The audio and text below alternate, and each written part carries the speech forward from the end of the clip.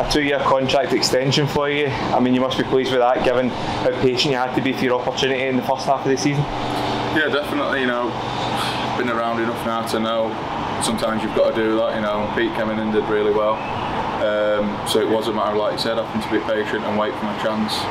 Um, and luckily, since I've, I've been in, results have picked up and uh, and I've done all right, like you said. So, but the main thing obviously was the results. Um, I think since I've been in, you know, we've, we've not lost too many games. There's been a few blips here and there, but thoroughly enjoyed being back playing and looking forward to the last one tomorrow.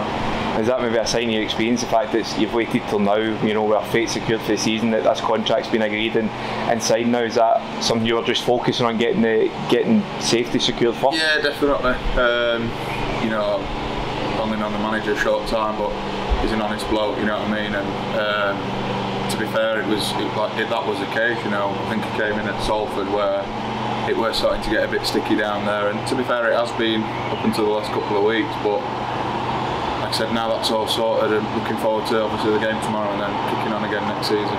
Yeah, and you speak there about you've been around so often, so you know that you had to wait for that opportunity. Does that maybe help you to take it when it does come on because you're not getting nervous, you're not getting any sort of thoughts getting to your head, you're just focused on getting in the team and when you're there, taking that chance when it comes? Yeah, I think so. It's it's you know it's old cliche in football, but making sure you train right and do everything right so that you know, it's a weird one as a goalkeeper. You know, you're realistically not going to get on unless someone's injured. Um, so it is a tough one, but like I said, I've been about enough now, and lads are brilliant round here. Even, you know what I mean? Even when you're not playing, and it's just been a case of trying to push Pete as much as I could. And I'm fortunate for myself, you know, I managed to get in and thoroughly enjoyed it.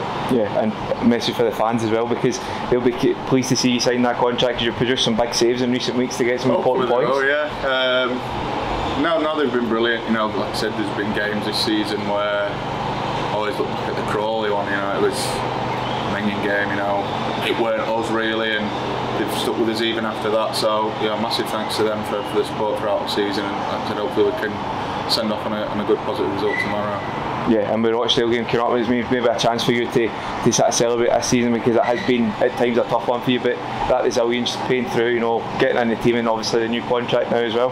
Yeah, um, I said it. Sometimes it feels a longer season than it actually has been, but I don't think any season's the same. And to be fair, I've probably never had a season where I've been out of team that long and said footballers that's funny ways of throwing different things up at you. Um, but like I said, since I've come back in, I've thoroughly enjoyed it. You know, I love being here. I've only been here two years now, but it feels like I've been here five. You know what I mean? And that's that's the vibe that the manager creates, and and the lads who've been here a long time. You know, so fair credit to them.